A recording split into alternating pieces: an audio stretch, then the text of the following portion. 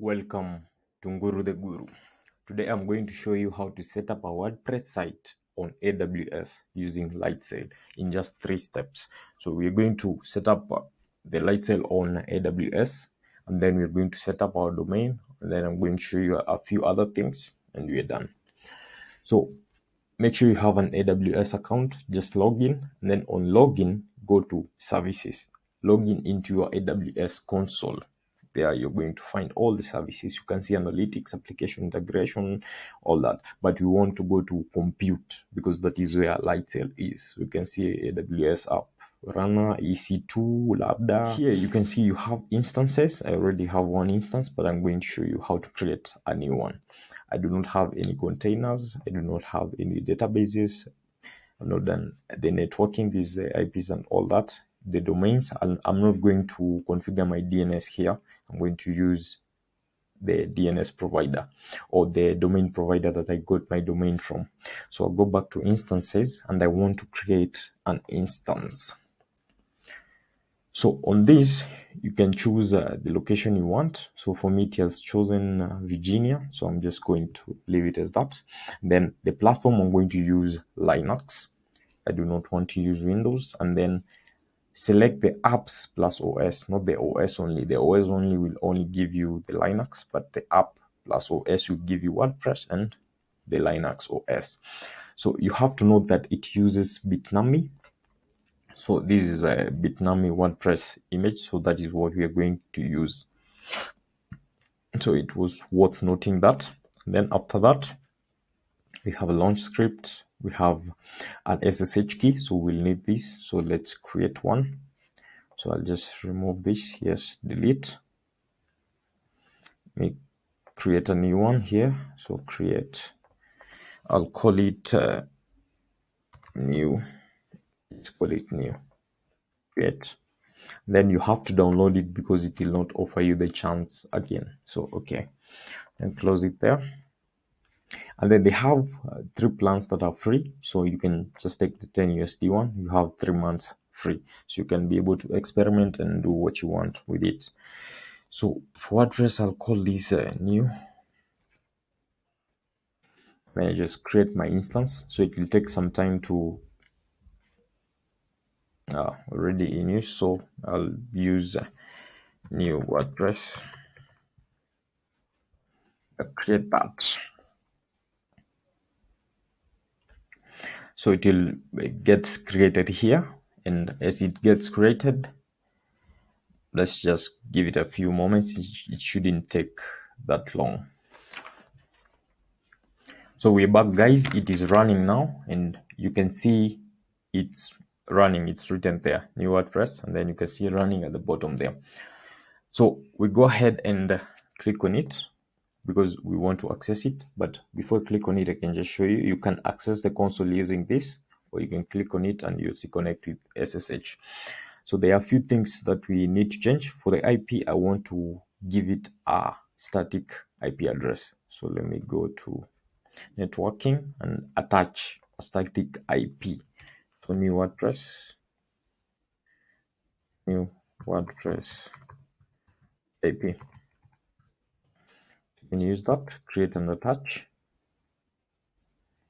Because this is the IP address that I'll use for my domain.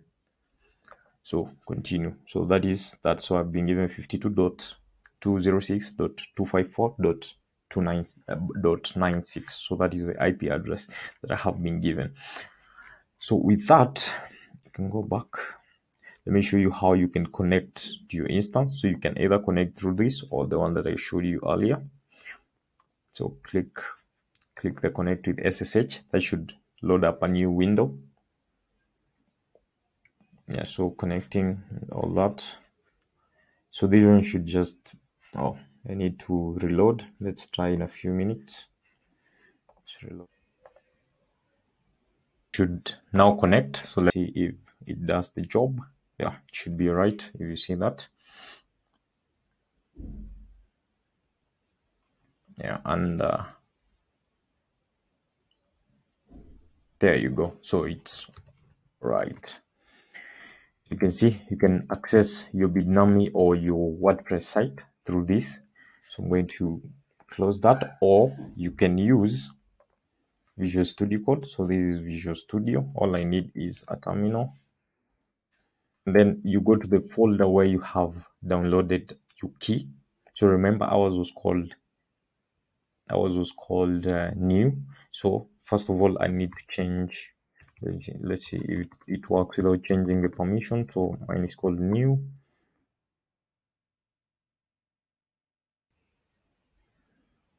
No this is not the folder. I did not change the folder. So download i was waiting for it to tab. So ssh i need the i then it's called new upem and then now it always have the username bitnami at and then what was ip address? This is the ip so i copy the ip address I go back then I just paste it there. So this should work yes. See it has an issue we changed the permission but it has it works well. But if you're using another server i believe it will have an issue and you'll have to change mode to 400 for it to work. So those are the two ways you can access your instance. So with that done let us go ahead and create the domain and then give it this ip address so that it will have propagated by the time that we're back so I use Reseller Club for my domain. So I'll just go there and add a new a record. Then this will be www.new.judiso.com.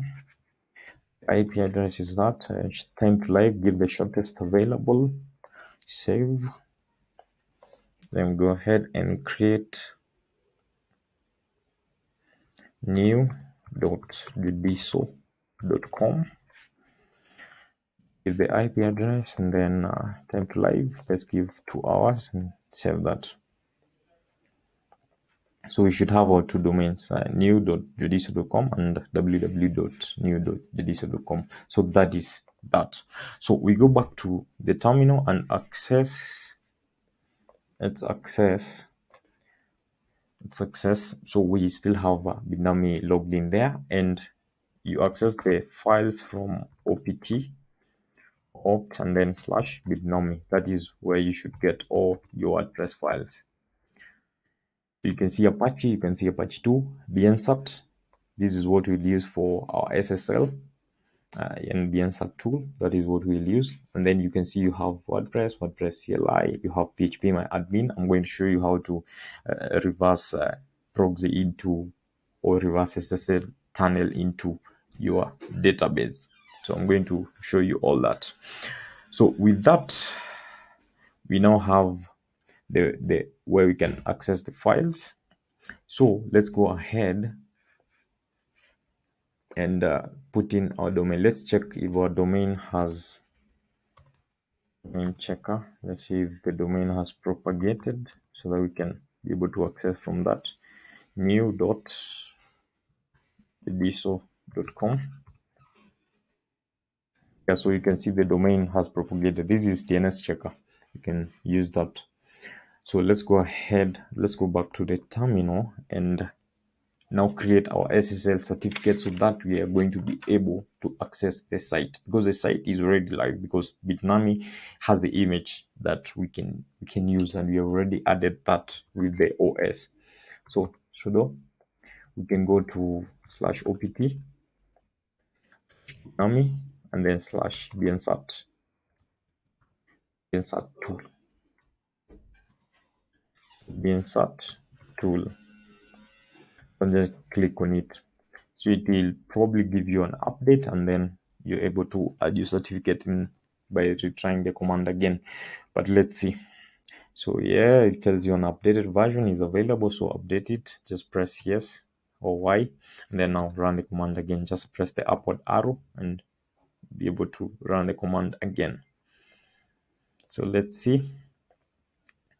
Goes ahead give us the domain list so we have www.new.judiso.com it should be separated and then new.judiso.com then we press that let's see if the domains have already propagated it will go through. So enable http to https redirection. You say yes to that. Enable none www to www redirection. Mm, no i believe so. Enable www to none www because we want www.new.jodiso.com to go to new.jodiso.com so we'll say yes to that. Then you can check the changes stop the web server configure all that. Just say yes to that. Email address i just give my email address.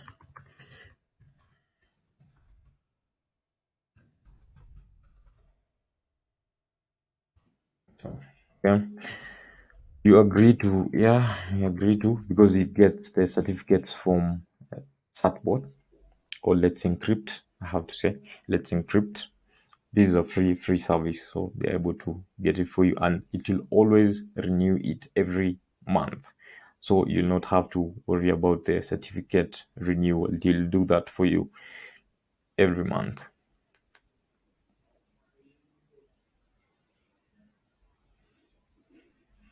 so let's give it time. It will be back once the certificate has been given. Yeah so you can see that has been done. So press enter and that is that. So now if i go to new new dot biso.com to be able to access our wordpress site so let's see. Yeah and should have the key here. So you should see that. So you can see this is a simple hello world. So it uses the 2021 one. So these are i'm going to show you how where you can get that. So we have that. So how do we access the admin panel for wordpress? So you just have to add wp admin there and you're able to access. So you can see now the the wp admin has loaded up and we need a username and we need a password. So where do we find this? Go ahead to ubitnami and clear this. Let me just clear that.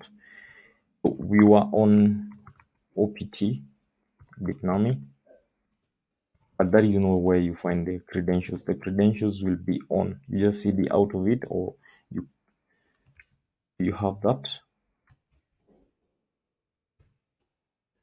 so you'll be on home bitnami and then from here just cd and you ls and you're going to be able to see the the credentials.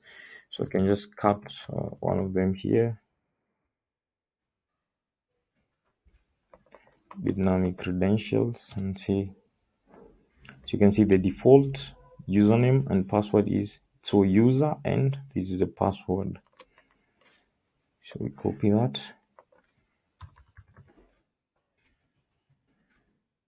so remember me and login. So now you should go to the wordpress site. So let's say the dashboard for, for wordpress. And here is the dashboard. So you can see on the dashboard you have welcome to wordpress. On this side you have posts media pages. The theme that is currently running is on appearance. You go to appearance and then themes yeah and you can see we're using theme 2022 and these ones are given free by wordpress. So you can just add your own. So after after having this you might be asking yourself how do i access my database? You remember i showed you a file on php my admin on my terminal. So let me just go back to that. So cd opt bitnami. And here remember we showed or php my admin. So this is a folder that contains the database. So how do we access this database? So let's reverse tunnel into our localhost so with that you just have to do ssh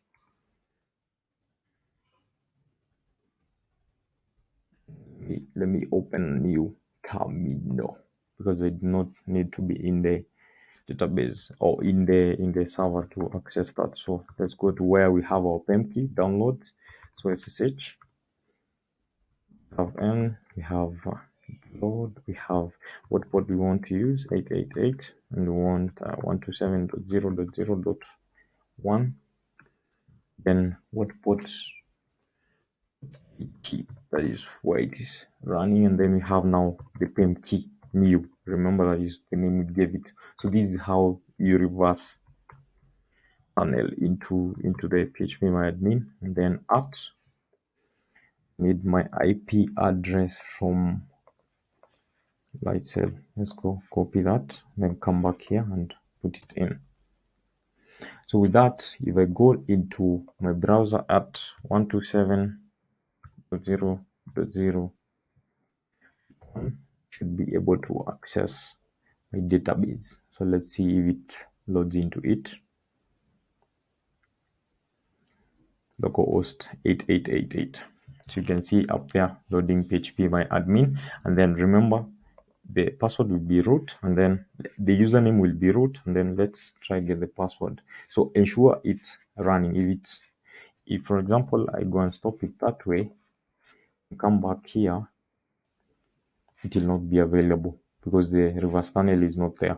But if i come back and relaunch it then go back and refresh can see it's refreshing. Let's see. Let's refresh. It hasn't come up so let me just here so let's see.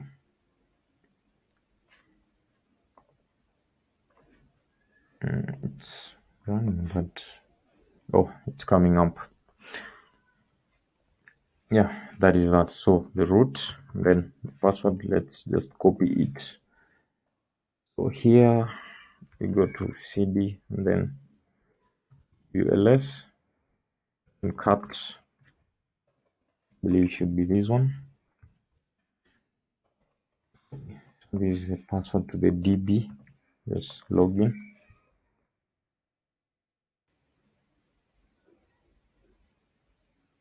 and you can see bitnami here bitnami wordpress then you go into it you'll be able to see your tables. So these are the tables in our wordpress site 12 tables. And that is that guys. So we have showed you first of all how to create an aws lightsail account. Then we have given it a wordpress plus os so we have the wordpress installed using bitnami. And then we have given it a ip that is a static ip so that when it restarts it doesn't lose the ip and the domain doesn't face any issues. And then we added our domains. Remember that? We were able to access. And then we had our site live. So you can see it uh, you can see this is the dashboard. And then we have reverse tunneled to show you where the database is located. So that is it guys. Please like share and subscribe. Thank you. Bye bye